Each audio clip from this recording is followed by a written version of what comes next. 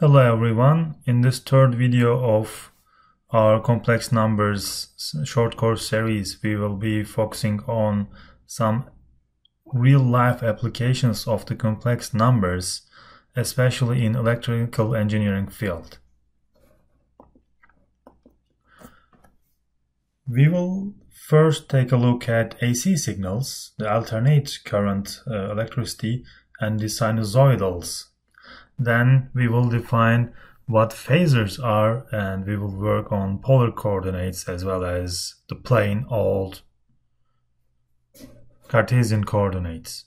Then we will take a look at resistor, inductor and capacitor circuits as a primary uh, use case of complex numbers. And we will then study impedance and admittance concepts. The alternating current, or shortly AC, is now the dominant form of electrical power that is delivered to homes, commerce, and industry. In the late 19th century, there was a battle between proponents of DC, direct current, and AC. AC won out due to its efficiency for long distance transmission, so it's easier and cheaper to transfer the energy using the AC. And uh, this is because of AC is a sinusoidal current, meaning that the current reverses at regular times and has alternating positive and negative values following sinusoidal functions that we have already seen in our previous courses. Sinusoids are particularly interesting to us, uh, I mean to electrical engineers, because there are a number of natural phenomena that are sinusoidal in, in the nature and especially in electricity. It's also very easy, uh, uh a very easy signal form to generate and to transmit, and this is why AC won the battle between DC. also, through Fourier analysis, any practical periodic function can be made by adding sinusoids, so it's it's a very powerful tool for us. And lastly, they are quite easy to handle mathematically.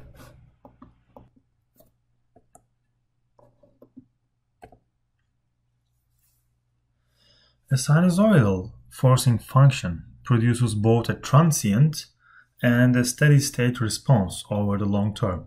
When the transient has died out, we say that the circuit is in sinusoidal steady state.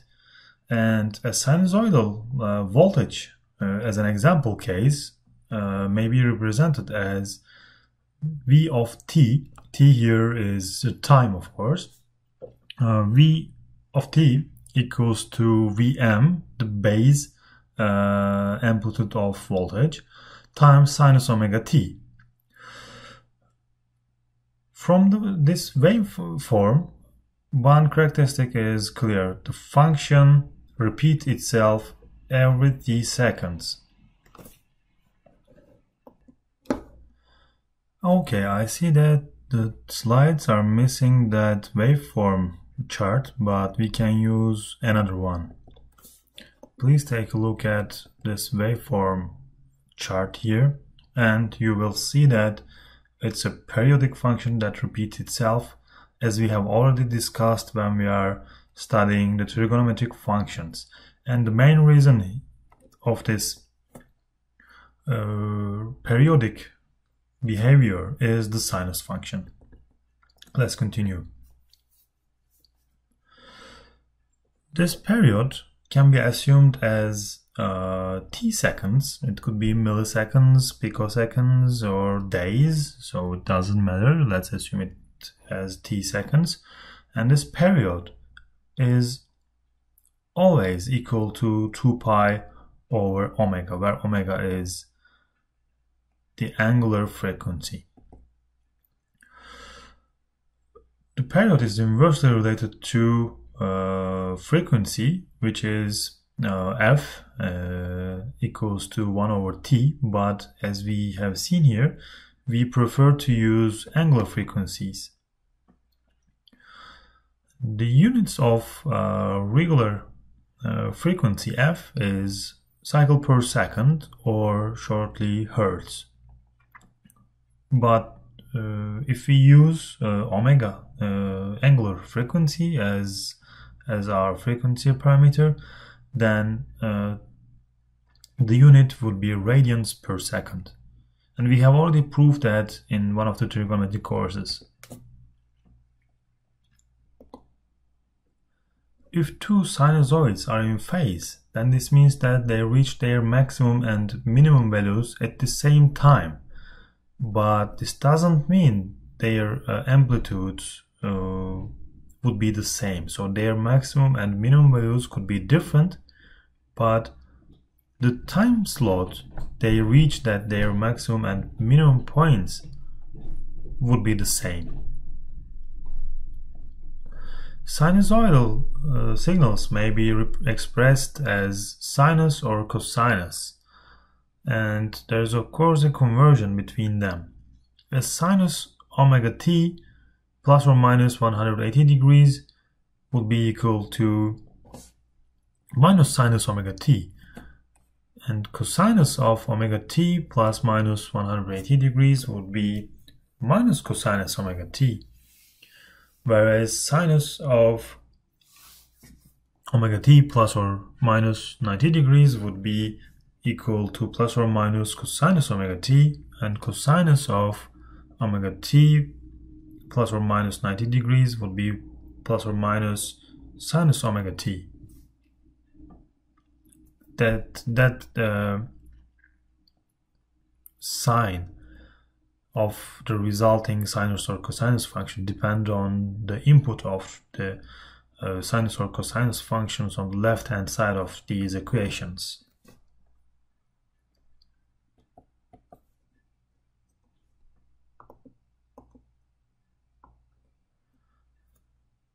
Let's take a look at the electrical waveforms. A general expression for the sinusoid for the voltage of a component or a circuit or a signal could be given as V of t equals to Vm stands for V maximum or the amplitude of that voltage times sinus omega t plus phi where phi is the phase angle omega is the angular frequency t is the period uh, sorry, t is the actual time variable. And the sinus function is the general form of the waveform.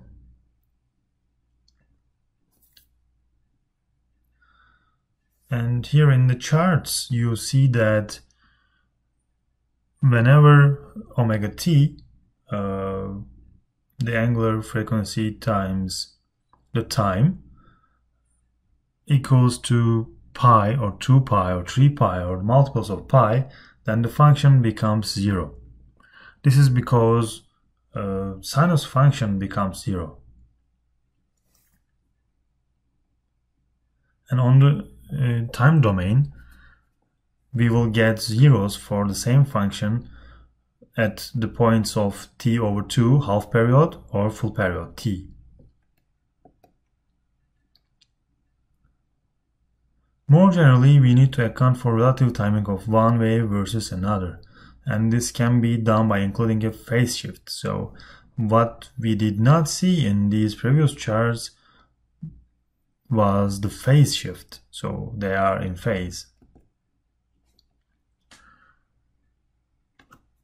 But to shift a given signal or compare uh, shifted versions of the same signal, we will need the phi uh, phase shift variable.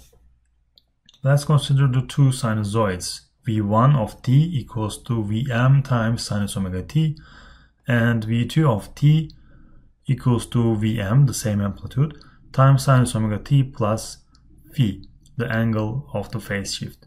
And now in the chart below, we will see these two versions of the almost same signal the one with uh, continuous line is the original one, V1, Vm sinus omega t, and the one with the dashed lines is V2. So when we add phi into the sinus function, we shift the signal to left side or right side depending on the value of the phi. So it will be the same signal but with a different phase value. We have a very basic example to recap. Given a sinusoid 5 times sinus for 4 pi t minus 60 degrees and calculate its amplitude, phase, angle frequency, period, and frequency. So this just fits in the uh, given function of v here. So we can just put the values on the variables and we will get the solution. So until here, complex numbers seem irrelevant, but actually they are very, very relevant. And this is, this is where complex numbers will be very useful. Apart from the standard rectangular form, another powerful method for representing the sinusoids is the phasor format.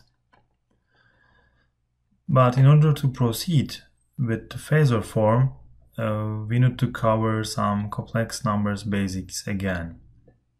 A complex number z can be represented in its uh, standard rectangular form as z equals to x plus jy. Here we use particularly the j formation, uh, j notation for the imaginary part because we don't want to confuse it with the current uh, symbol of i.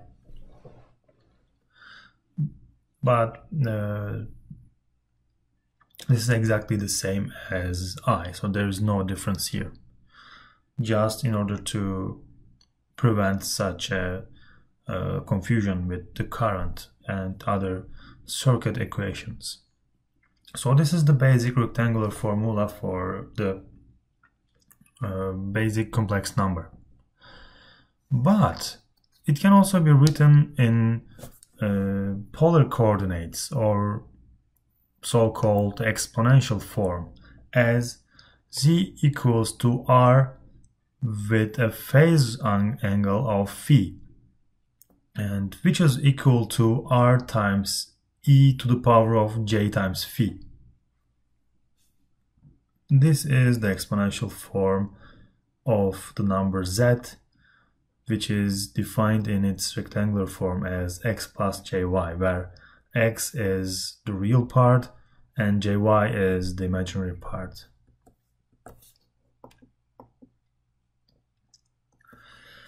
These different forms can be interconverted from one form to the another form. Let's first start with a rectangular form and try to convert it to the polar form. In order to, in order to do this, we should uh, draw a diagram uh, which is shown on the right part and we should indicate the real number, the real part of the complex number and the imaginary part of the complex number. And uh, most frequently we write the uh, real part on the x-axis, the uh, horizontal axis, and imaginary part on the vertical axis. So these axes are called real axis and imaginary axis for this purpose.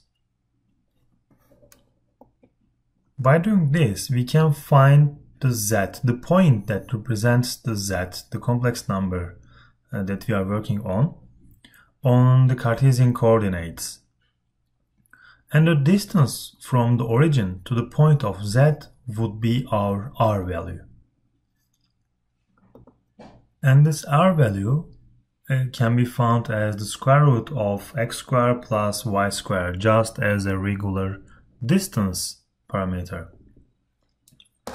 And the angle phi can be found as arctangent of y over x.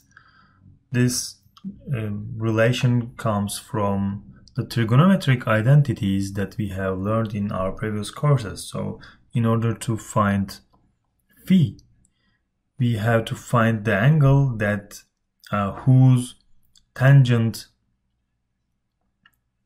is y over x and the real value of phi will depend on the real values of y and x of course and likewise from polar coordinates to rectangular form goes as follows x would be equal to r times cosinus phi and y would be r times sinus phi. This comes from the unit circle and right angle triangle.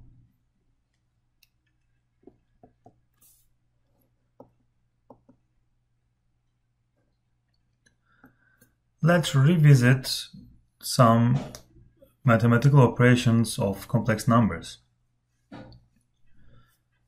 Let's assume z1 and z2 are complex numbers and look at addition of these two. So z1 plus z2 would be x1 plus x2, uh, the sum of the real parts, plus j times y1 plus y2, sum of imaginary parts. Subtraction would be similar z1 minus z2 would be x1 minus x2 plus j times y1 minus y2. Multiplication can be can be done quite easy using the polar forms. So for addition and subtraction, we prefer to use rectangular form, the Cartesian coordinates, but for multiplication, it's quite easy to use uh, polar forms.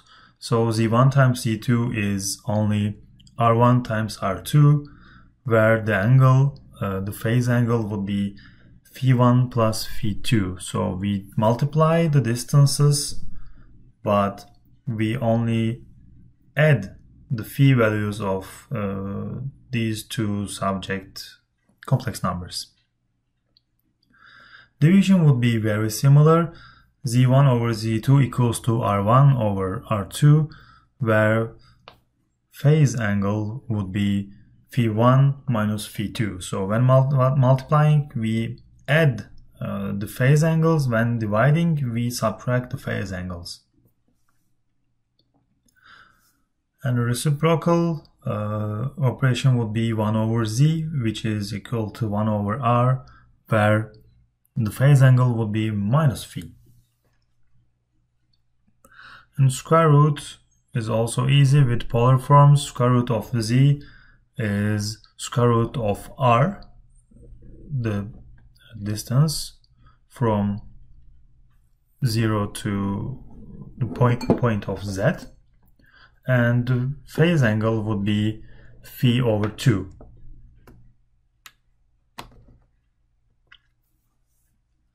And the complex conjugate z star would be x minus jy, assuming that uh, z is x plus jy.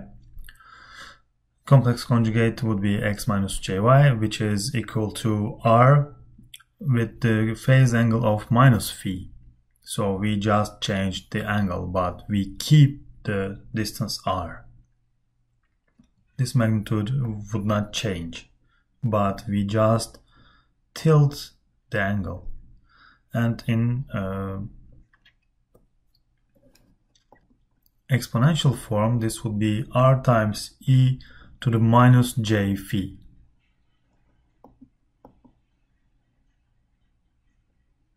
Phasors or in, in a longer form phase vectors are a representation of sinusoidal wave whose amplitude a and phase phi and frequency omega are time invariant. So of course we observe a change, a variance in, in time, but this variance is periodic and only depending on the sinus or cosinus function in the definition. So the amplitude A do not change.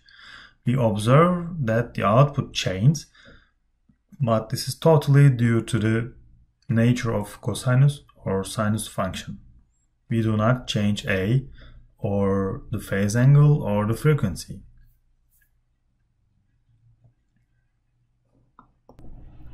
A times cosine omega t plus phi is equal to the real part of A times e to the i t i phi times e to the i omega t.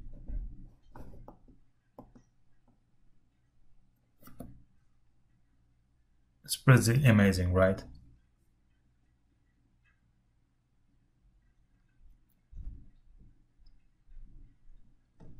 On the right side, we see three different uh, waveforms with different amplitudes, but they are in phase, which means that at the same time they reach their maximums and minimums.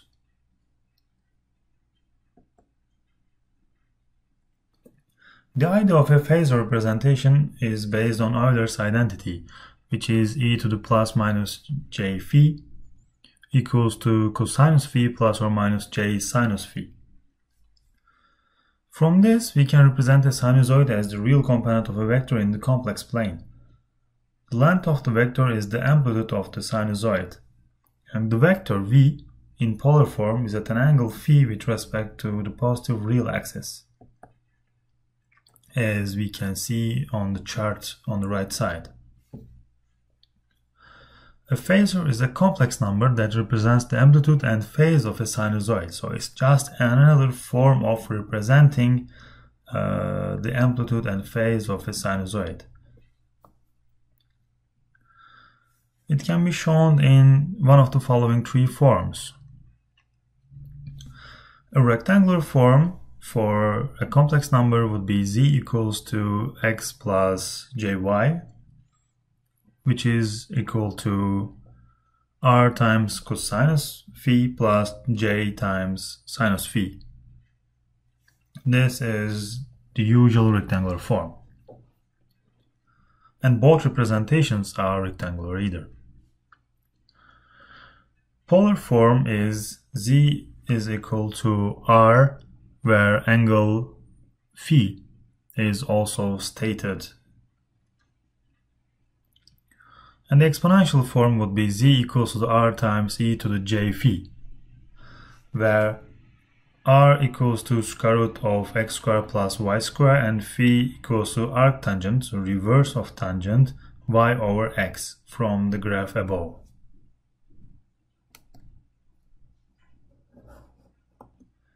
Here you can stop the video and try to solve these basic uh, questions.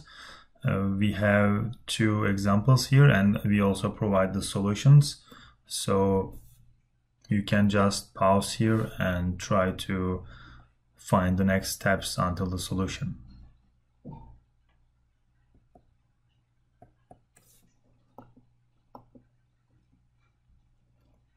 Phasors are typically represented at t equals to 0, but it's it's not uh, always the case, so please pay attention to that.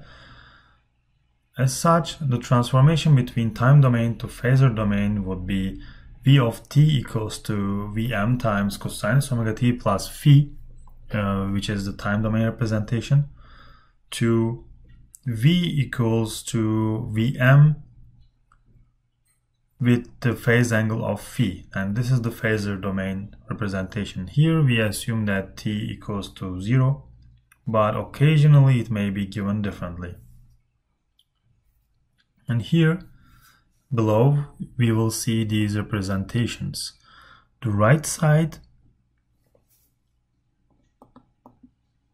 the chart on the right side is for the time domain representation and the chart on the left side uh, the circle chart is the phasor domain representation of the same uh, V signal.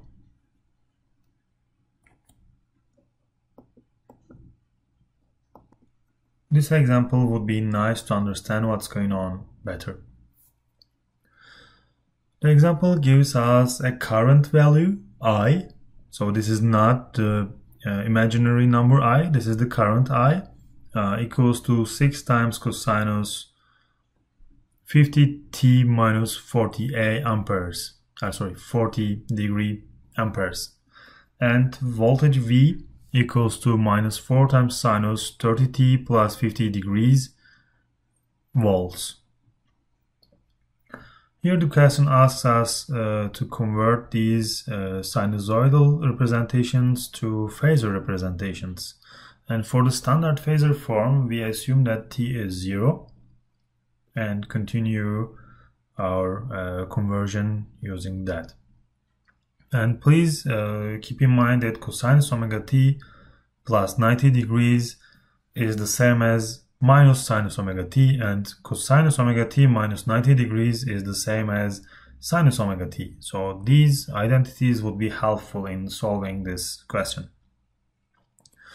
The first one is easier. Uh, the magnitude 6 will be kept as 6, so no, there is no change on, on that one. And the angle would be minus 40 degrees because when t is accepted as 0, then 50t would be 0. So the phase angle would be minus 40 degrees and I, the current would be uh, 6 with phase angle minus 40 degrees ampere. For the second one, there is a little trick. Uh, we should convert um, minus sinus function to cosinus function. And since minus sinus A and uh, arbitrary number A would be equal to cosinus A plus 90 degrees, there is a 90 degrees shift. So from this point, Vt, V of t, would be 4 times cosinus 30t plus 50 degrees plus 90 degrees. And in this case, if uh, t is 0, then we would get 4 times cosinus 140 degrees volts. And the transformation to phasor form would be V equals to 4 with uh, phase angle 140 degrees.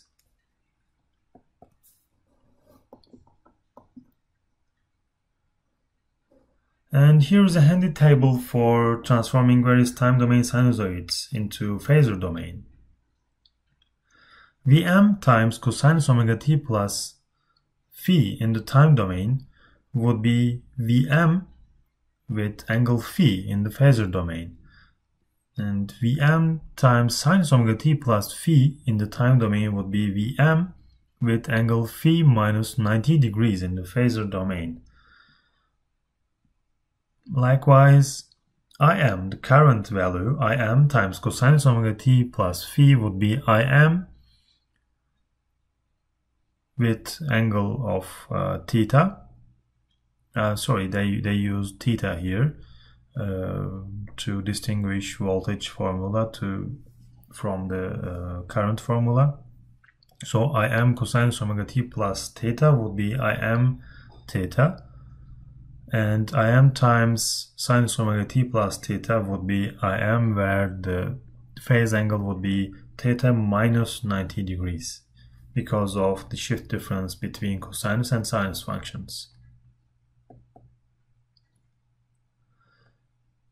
Note that the frequency of the phasor is not explicitly, explicitly shown in the phasor diagram. For this reason, the phasor domain is also known as the frequency domain. And what's more interesting is applying a derivative to a phasor yields so dv on dt, the derivative on time domain, would be equivalent to j omega v in the phasor domain. And the same goes for the integral. Applying an integral to a phasor yields uh, v on j omega. And it's the equivalent of integral v dt on the time domain.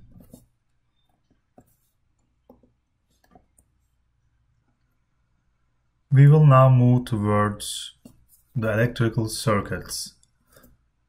Each circuit element has a relationship between its current and voltage depending on time, frequency, amplitude, and phase. And this relation can be mapped into phasor relationships very simply for resistors, capacitors, and inductors. For the resistors, it's, it's the simplest. The voltage and current are related via the Ohm's law. As such, the voltage and current are in phase with each other. Now please look at the top right uh, figure of the the simple electrical circuit that contains one voltage source and one resistor. The left part is the time domain representation and the right part is the phasor domain representation. As you can see, both are almost 100% identical. The time varying current I passes through the resistor R and the voltage of the source and the circuit can be modeled as small v equals to small i times r where i is uh, the current not complex number. And on the right side in the phasor domain representation we have capital I as the current and R again for the resistor and the voltage would be capital I times R so they are identical and on the chart uh, at the bottom we will see that real part and imaginary part of uh, both I and V values, the current and voltage values, have the same phase angle. Although their amplitudes uh, are different, their angle is the same.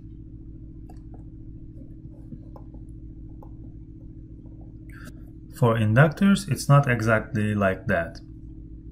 They, on the other hand, have a phase shift between their voltage and the current passes through them. In this case, the voltage leads the current by 90 degrees. Or one says that the current lags the voltage, which is the standard convention. This is represented on the phasor diagram by a positive phase angle between the voltage and current, which can be seen on the bottom uh, chart on the right side. Here we see that the angle from uh, from the uh, x-axis, the horizontal axis to I is smaller than that of V and this clearly means that voltage comes first and the current follows later. Let's look at the top figure. On the left side, we have the time domain representation of the time varying current I, small i, and we can give it as small v voltage, time, time domain voltage, v equals to L times di on dt. On the other hand, on the right side, we have uh, phasor domain I, capital I, and cap, uh, capital V. And capital V, the uh, phasor domain voltage, equals to j omega Li. Here by using the phasor domain representation, we can get rid of uh, the derivatives and get a simpler representation. It's pretty much similar for the capacitor. The only difference uh, here is uh, the phase shift between voltage and current. They have the opposite phase relationship as compared to inductors. In their case, the current leads the voltage, so it's just the opposite case. The current comes first, then the voltage appears. In the phasor diagram on the right side, this corresponds to a negative phase angle between the voltage and current. Here, uh, unlike the inductor, the angle between the horizontal axis and V is smaller than that of I. And when we look at the uh, circuit figures on the left side for the time domain we get small i equals to c times dv over dt. So time derivative of voltage. Whereas uh, on the right side for the phasor domain we get capital I equals to j omega c times v. Here again we can get rid of the derivative by using the phasor format. And let's summarize the voltage current relationships.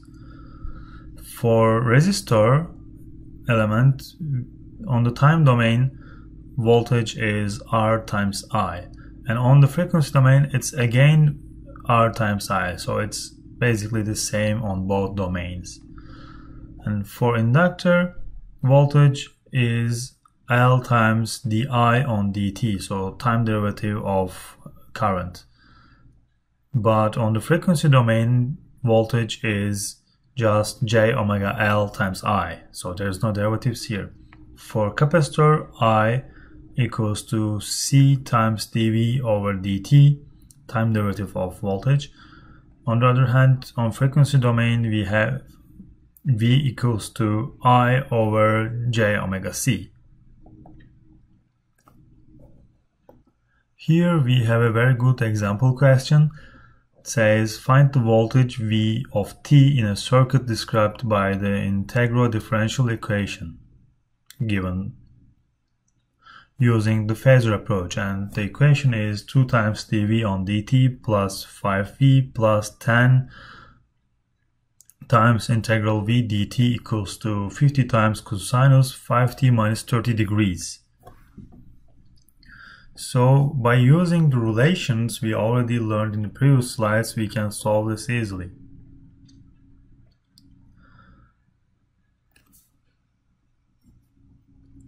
First, in order to get rid of these uh, derivatives and, and integrals, we should use the phasor format. Otherwise, it could be quite complicated. And by using the phasor form for each term here, uh, as shown in this table, we can get 2 times j omega v plus 5v plus 10 over j omega v equals to 50 with the phase angle of minus 30 degrees, where omega is 5, and omega is obtained from the given equation where it says 50 cosinus 5t minus 30. So here uh, 5 is the omega because it should be omega t. If we continue to the next step, uh, we can use the v parenthesis and here v times 10j plus 5 minus j times 10 over 5 would be uh, equal to v times 5 plus 8j and this would be equal to 50 with the angle of minus 30 degrees. Here, with simplifications, we get v equals to 5.3 where the angle is minus 88 degrees. And we can, from, from this uh, phasor form, we can convert to the time domain again and then we will get v of t equals to 5.3 times cosinus 5t minus 88 degrees volts. So the exact value of this voltage would be related to the time t, but it will be periodic again.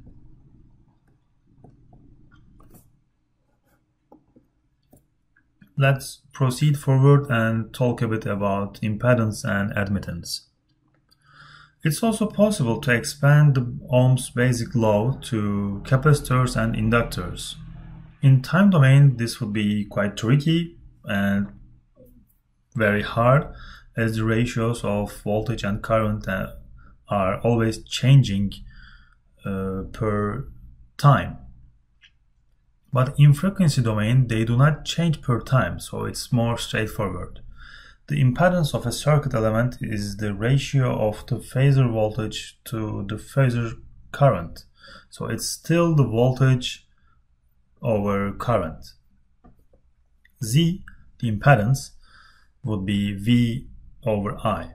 Or alternatively, V equals to Z times I. So it's very similar to the Ohm's law for uh, resistors, but also valid for capacitors and inductors when we are talking on the uh, time uh, frequency domain, not time domain. And the admittance is simply the inverse of impedance. It's not something uh, very different.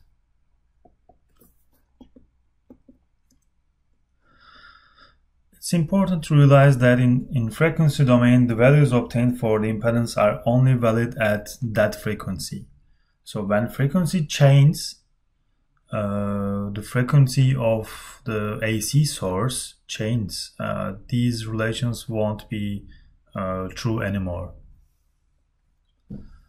And changing to a new frequency, of course, will require recalculating these values because all these values of uh, inductors and capacitors, the impedance values, would depend on the frequency. Because let me show uh, this equation here. Here, except for R, uh, for L and C, we get uh, V equals to j omega Li and V equals to I over j omega C. Here in the formula, we have omega, which is the angular frequency, which includes f, the regular frequency. So when frequency changes, these impedance values would change also. And please keep in mind that inductors make short circuits at DC, where frequency is zero, and make open circuits at very, very high frequencies. Conversely, Capacitors would make open circuits at DC where frequency is zero and would behave like short circuits at very high frequencies. As a complex quantity, the impedance may also be expressed in the rectangular form, and the separation of the real and imaginary components is quite useful. The real part is the resistance value, just like as in a resistor, and the imaginary component is called reactance and it's represented by capital X. And when this is positive, we say the impedance is inductive and uh, when it is uh, negative, then we say that the impedance is capacitive.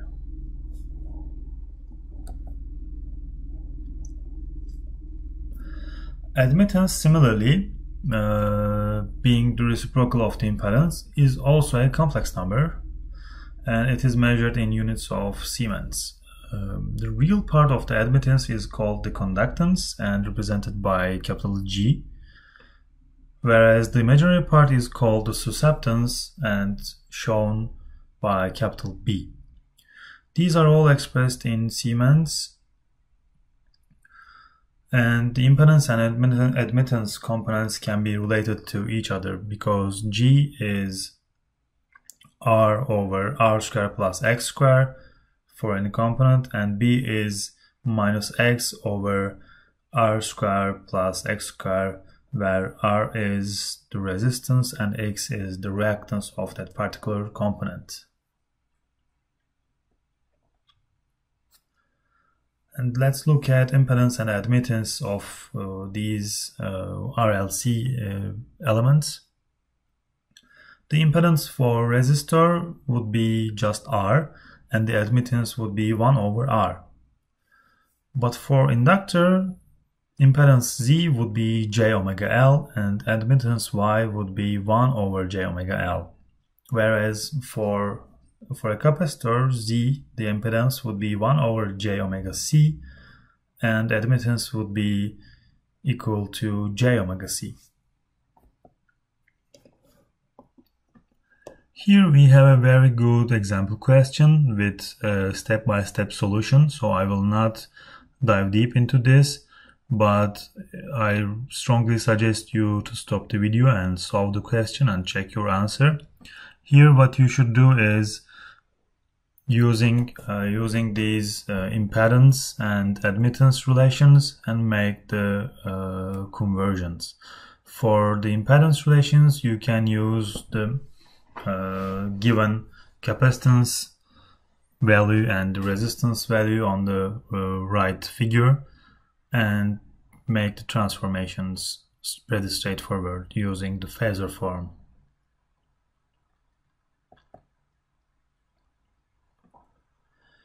And Kirchhoff's laws are also quite valid in the frequency domain as well as in time domain. A powerful aspect of phasors is that Kirchhoff's laws apply to them as well. This means that a circuit transformed to frequency domain can be evaluated by the same methodology developed for Kirchhoff's voltage law and Kirchhoff's current laws. And one consequence, I wouldn't say it's a consequence, but a natural phenomenon is that there will likely be complex values. And lastly, let's look at impedance combinations. Once in frequency domain, the impedance elements are generalized and thought of uh, black boxes. And these combinations will follow the rules for resistors. So we can behave uh, impedance uh, impedance of the com components as resistance of resistors. If, if we have cascading uh, or serially connecting uh, connected elements, then just like resistors, we can add the impedance values of these components and find the eventual uh, impedance value of the circuit.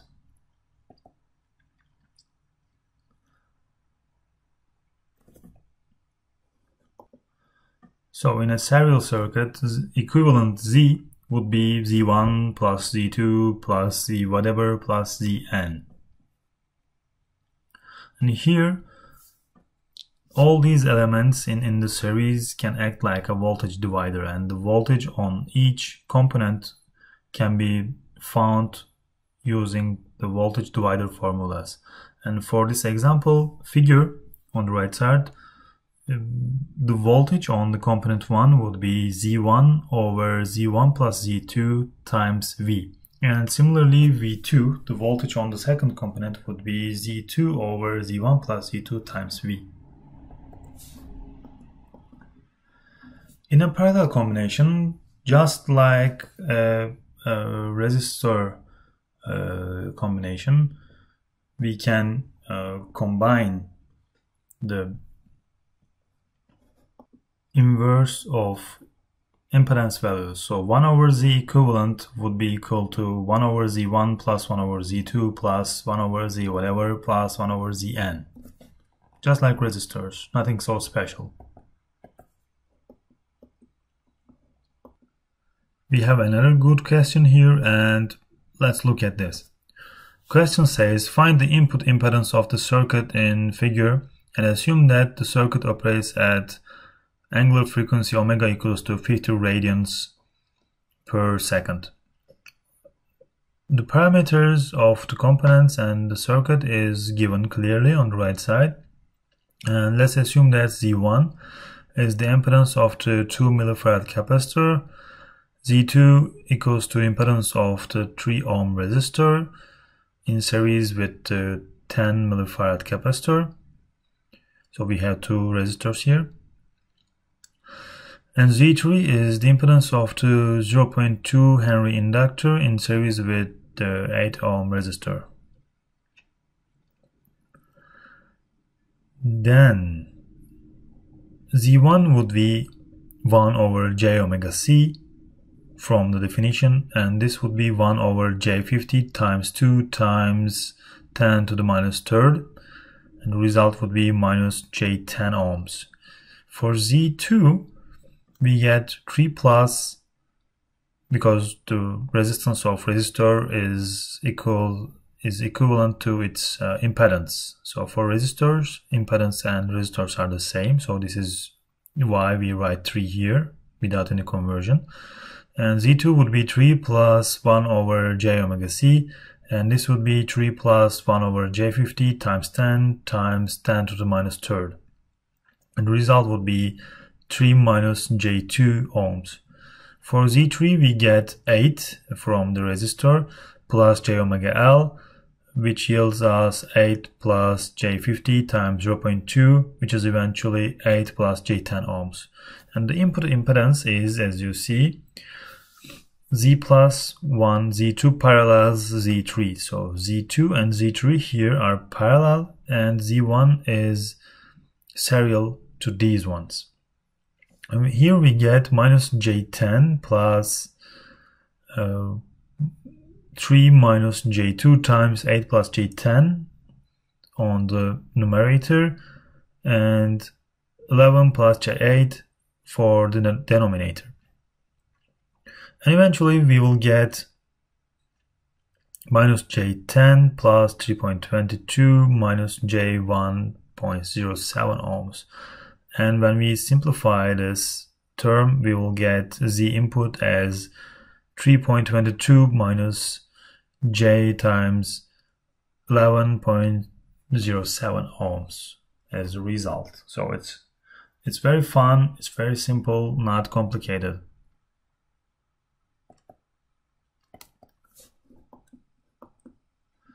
And finally, be of course you you don't have to memorize it, but you it's better if you know that this can happen. This is possible.